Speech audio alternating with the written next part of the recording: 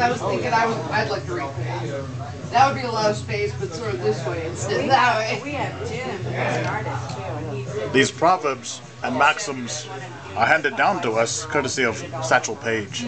It's a very wise man, a lot of wisdom to be found here. Truly, these are words to live by. What you should do is work like nobody's watching, dance like you've never been hurt, Well, it's funny. I worked love like I don't need the money. two or three years.